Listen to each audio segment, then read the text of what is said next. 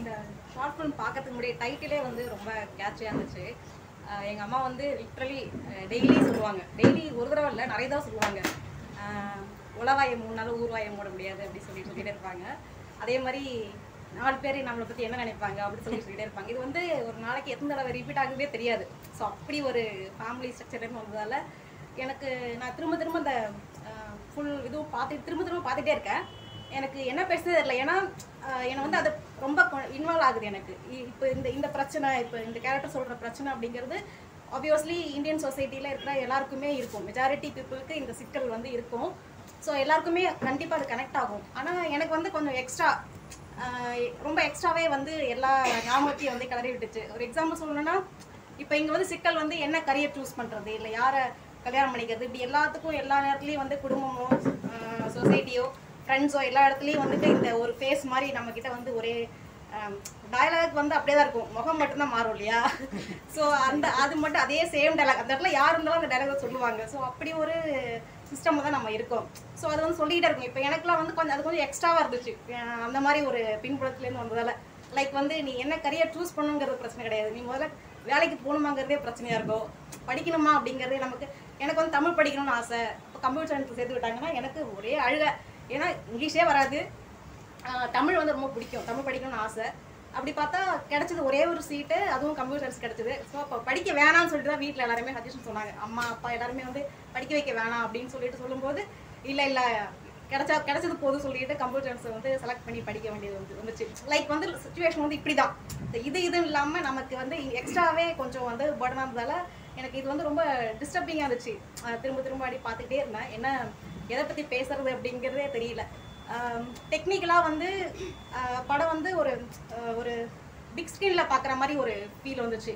காட்சி அமைப்போ இல்லை அவங்க கதை சொல்கிற விதம் ஈவன் இந்த இந்த கதையை ஒரே முகத்தை வச்சு சொல்ல வருது. நமக்கு ஃபஸ்ட்டாக பார்க்கும்போது ஒரே கேரக்டர் ட்ராவல் ஆகிறாங்களா? இல்லை ஃப்ளாஷ்பேக் ஏதாவது போகுதா? வேற இல்லை டூயலா சம்திங் நமக்கு வந்து ஒரு திங்கிங் வரும் இல்லையா? ஸோ இந்த கதை சொல்கிற விதமே வந்து ஒரு பிக் ஸ்க்ரீனுக்கு சொல்கிற விதமாக ஒரு சும்மா எளிமையாக சொல்லிட்டு போகாமல் அவ்வளோ எஃபர்ட் போட்டிருக்காங்க. ஈவன் இந்த உங்க லைஃப்ல டிராவல் ஆகுற எந்த கேரக்டர் வந்தாலும் இந்த டயலாக் தான் சொல்லுவாங்க அப்படிங்கிற மாதிரி அந்த பேஸ் எடுத்துட்டு ஒரே ஃபேஸே வச்சு கன்வே பண்ண விதம். ஸோ இது எல்லாமே ரொம்ப புதுசு ஆக்சுவலி அவ்வளோ இந்த இந்த இதுக்குள்ள ஸ்கிரிப்டுக்குள்ள இவ்வளோ சுவாரஸ்யமா ஒரு பிக் ஸ்க்ரீன்ல சொல்ற அளவுக்கு வந்து டெக்னிக்கலாகவும் சரி ஈவன் கதை சொல்ற விதமும் சரி கண்டென்ட்டும் சரி ரொம்ப ரொம்ப பிடிச்சிருந்துச்சு ஆக்சுவலி எல்லாமே ரொம்ப பிடிச்சிருந்துச்சு. ஈவன் எல்லாத்துக்குமே எஃபர்ட் போட்டிருக்காங்க. சே ஃபார் எக்ஸாம்பிள் இப்போ வந்து ஒரு ஐடி துறையில் இருக்கிற ஒரு பையன் வந்து ஒரு மேனேஜர் கூட பேசுகிற மாதிரி ஒரு சீட் அது ஒரு ப்ரெஷர் அப்போல்லாம் வைக்கும்போது நம்மக்கிட்ட பொது புத்தி நிறையா இருக்கு இல்லையா? சே ஃபார் எக்ஸாம்பிள் யாராவது ஐடின்னு சொல்லிட்டு சினிமாலாம் வந்தாங்கன்னா அவனை யோயோ பாய்ஸ் மாதிரி கட்டுவாங்க. ஸோ அவங்களாம் வந்து அப்படி பயங்கர பயங்கர ரிச்சாக இருப்பாங்க வெல் ட்ரெஸ்டாக இருப்பாங்க. அவங்கள்ட்ட பணம் வந்து பயங்கரமாக கொட்டுது. ஸோ லேக் கணக்கில் சம்பளம் வாங்குறாங்க. இது மட்டும்தான் அவங்க வேலையை செய்ய மாட்டாங்க வெளியில் சுற்றிட்டு இருப்பாங்க ஜாலியாக லைக் அந்த மாதிரி ஒரு பர்ஸ்பெக்டிவ் நிறைய படத்தில் அப்படி காமிப்பாங்க. ஈவன் ஊரில் கூட அப்படி தான் நினைப்பாங்க. நம்ம வந்து இந்த ஃபீல்டில் இருக்கோம் அப்படின்னா உன்னோட சேலரி லட்சத்தில் போகல அப்படின்னு சொல்லிட்டு கேட்பாங்க. ஆமாம் ஆமாம் சொல்லிட்டு வந்துடுவேன் ஸோ லைக் அந்த மாதிரி ஒரு ப்ரொஜெக்ட் பண்ணுற ஒரு வியூ இருக்கு இல்லையா? அப்படி தாண்டி அது எவ்வளோ மானங்கட்டத்தனமா நம்ம வந்து அங்கே வேலைக்குள்ளே இருக்கோம். லிட்ரலி என் மேனேஜர் ஃபேஸ் கூட அப்படிதான் இருக்கும். அப்படியே திட்டும் போது நான் கொஞ்சம் இப்படி பார்த்துட்டு இருந்தேன். ஸோ அவ்வளோ லைவ்லியாக இருந்துச்சு அந்த ஒரு காட்சி கூட. எல்லாமே அப்படிதான். அண்ட் இவர் டேரக்டர் தான் அந்த கேரக்டர் அப்படிங்கிற அந்த மாமா கேரக்டரில் வந்து ஒரு டேரக்டர் வந்து தெரியாது. அதுக்கப்புறம் அருண் சொல்லி தான் தெரியும். அவரோட கேரக்டர் வந்து எப்படி இருந்துச்சுன்னா ரொம்ப ஒரு ஹண்ட்ரட் பர்சன்ட் மேலே பக்காவாக சூட் ஆச்சுன்னு சொல்லுவாங்க இல்லையா? நம்ம கூட வழக்கமாக வந்து இப்போ நம்ம ஒரு பிரச்சனைல இருக்கோம் அப்படி இப்போ இவருக்கே வந்து ஒரு பிரச்சனை இருக்குன்னு சொல்லி அதை அவருக்கு சால்வ் பண்ண தெரியுமா தெரியா தெரியாது. ஆனால் நமக்கு அந்த சுச்சுவேஷன் அட்வைஸ் பண்ண வந்துட்டாங்கன்னா அப்படியே எக்ஸ்ட்ரா தேஜஸோட வந்து பேசுவோம் தெரியுமா? அது வந்து தம்பி இது வந்து இந்த வேலை செஞ்ச நீ அப்படி ஆயிடுவேன் ஸோ எனி எனிதிங் அவருக்கு அந்த ஃபீல்டில் அறிவு இருக்கா இல்லையா தெரியுமா இது இப்படி நடந்துச்சா எனிதிங் சம்மந்தமே இல்லைனா கூட ரொம்ப தெளிவாக நமக்கு பிரச்சனை கஷ்டம்னா நம்ம சுற்றி இருக்கிறவங்க எல்லாருமே அவ்வளோ வெல்வஸ்ட் ஆகிடுவாங்க அப்படி வந்து ஒரு அந்த சந்திரமுகி மாதிரி ஒரு அட்வைஸ் பண்ணுவாங்க இல்லையா அந்த ஃபே அந்த ரியாக்ஷன் வந்து அவரோட ஃபேஸில் இருக்கும். அந்த மாமா கேரக்டர் வரும்போதெல்லாம் வந்து ரொம்ப சீரியஸாக இன்னொரு காமெடியாக சின்ன சின்ன விஷயம் கூட வச்சுருந்தாரு. ஒரு உதாரணத்துக்கு நம்ம கூட இருக்கிற அந்த நம்ம சரௌண்டிங் இருக்காங்க இல்லையா அது இன்னர் ஃபேமிலியா இல்லை சொந்தக்காரங்களா இல்லை ஈவன் ஃப்ரெண்ட்ஸ் சர்க்கிளா இல்லை. அவங்க நம்ம கிட்ட அட்வைஸ் பண்ண வரும்போது நம்மளோட லைஃப்ல வந்து இன்வால்வ் ஆகிடுவாங்க ஒரு சின்ன இன்சிடென்ட் வச்சு எதையாவது ஒன்று வச்சு சொல்லுவாங்க. ஒரு எக்ஸாம்பிள் சொல்லணும்னா அதில் வரும் நீ வந்து சின்ன வயசாக இருக்கும்போது உடம்பு சரியில்லை அப்போ ஏன் வண்டி தான் உனக்கு கொடுத்தேன் அப்படி சொல்லிட்டு. ஸோ அதில் நம்மளுடைய பாஸ்டில் வந்து நம்ம லைஃப்ல வந்து நானும் கூட இருக்கேன். நானும் உனக்கு வந்து ஹெல்ப் பண்ணியிருக்கேன். இல்லை ஏதோ ஒன்று அதை சொல்லி கனெக்ட் பண்ணி பேசுவாங்க. ஸோ இந்த மாதிரி ஸோ இதெல்லாம் வந்து ரொம்ப சூப்பராக இருந்துச்சு. இந்த மாதிரி குட்டி குட்டி விஷயத்துக்கு கூட அவ்வளோ எஃபர்ட் போட்டு அது வந்து அவ்வளோ அருமையாக இருந்துச்சு. கண்டென்ட்டாக வந்து நிறைய கனெக்ட் கனெக்ட் ஆச்சுன்னா இதுக்கு முன்னாடி பிக் ஸ்க்ரீனில் இந்த மாதிரி ஒரு கதையெல்லாம் வந்திருக்கும் நமக்கு படம். சரி ஃபார் எக்ஸாம்பிள் உனக்கு கரியர் தான் முக்கியம்? உனக்கு மனசுக்கு பிடிச்சதை செய். அந்த மாதிரி இப்போ உள்ள மயக்கம் என்ன? சந்தோஷ் சுப்ரமணியம் லைக் அந்த மாதிரி ஒரு செட் ஆஃப் ஃபிலிம்ஸ் வந்து வந்திருக்கு ஆல்ரெடி பட் அது அதை விடவும் எனக்கு இந்த படம் ரொம்ப பிடிச்சிருந்தது. ஏன் அப்படின்னா அது வந்து சொல்ல வந்த விஷயத்த அவ்வளோ டேரெக்டாக சொல்லிச்சா. ஒரு சில அந்த படம் சில படம் வந்து அப்யூசிவாக இருக்கிற மாதிரி இருக்கும். ஏன்னா பெரிய ட்ராவல் பெருசாக வரும். கடைசியில் ஜெயிக்கிற மாதிரி காமிச்சிருப்பாங்க. சந்தோஷ் சுப்ரமணியம் தானே ஒரு ட்ராமா ஃபேமிலி ட்ராமா அகைன் போயிட்டு அதில் போய் சென்டிமெண்ட்டு ஊற்றி தான் முடிச்சிருப்பாங்க. ஸோ அப்படிலாம் இல்லாமல் ரொம்ப இண்டிவிஜுவலாக நீ வந்து தான் மட்டும்தான் நீ நினைக்கிறத செஞ்சால் மட்டும் தான் உங்களால் சந்தோஷமாக இருக்க முடியும். இல்லை அது அப்படி தானே இருக்கணும் அப்படிங்கிறத ரொம்ப ட்ராவாக சொல்லுவாங்க இல்லையா? அப்படி ஒரு ட்ராமா எதுவும் வைக்காமல் ஒரு பயங்கர அபியூ படம் ஃபுல்லாக அபியூசிவாக சொல்லிட்டு கடைசியில் வந்து ஒரு பாசிட்டிவாக கிளைமேக்ஸ் அப்படி இல்லை அந்த மாதிரிலாம் எதுவும் இல்லாமல் ரொம்ப உண்மைக்கு நெருக்கமாக இந்த கதை வந்து இருந்துச்சு. ஸோ அது வந்து ரொம்ப பிடிச்சிருந்துச்சு. பெட்டர் இது வந்து ஒரு ஒரு பிக் ஸ்க்ரீனில் ஒரு பெரிய படமாக வந்தால் கூட நடுவில் சின்ன சின்ன கதை ஒரு ஒரு ட்ராவலோ இந்த இதே இது வந்து அப்படியே ட்ராவல் பண்ணால் கூட அவ்வளவு அருமையாக சுவாரஸ்யமாக இருக்கும். ஈவன் ஃபேக்ட் இல்லையா? இப்போ இந்த எடுத்த விஷயம் அப்படிங்கிறது எவ்வளோ பெரிய ஃபேக்ட் இப்போ உலகம் ஃபுல்லாக வந்து இருக்கலாம். டிஃப்ரெண்ட் டிஃப்ரெண்ட் மாடியில் இருக்கலாம். வேற வேற கண்ட்ரியில் வேற வேற கல்ச்சர் இருக்கலாம். பட் இந்தியாவில் இரு இந்தியன் கல்ச்சரில் இல்லை இந்தியன்ஸ் ஃபேமிலிக்குள்ளே சொசைட்டிக்குள்ளே இருக்கிற ரொம்ப ரொம்ப பெரிய பிரச்சனை இல்லை. யூ ஜஸ்ட் இமேஜின் உங்கள் லைஃப்பில் எல்லாமே நீங்களாக தான் பண்ணியிருப்பீங்களா அப்படி கிடையாது. நம்ம ரொம்ப முக்கியமான விஷயங்கள் கூட ஜஸ்ட் லைக் தட் யாரோ நம்ம பக்கத்தில் இருக்கிறவங்களோட இன்ஃப்ளூயன்ஸில் நம்ம டெசிஷன் எடுத்து வந்துட்டே இருப்போம். ட்ராவல் பண்ணிட்டே வந்திருப்போம்.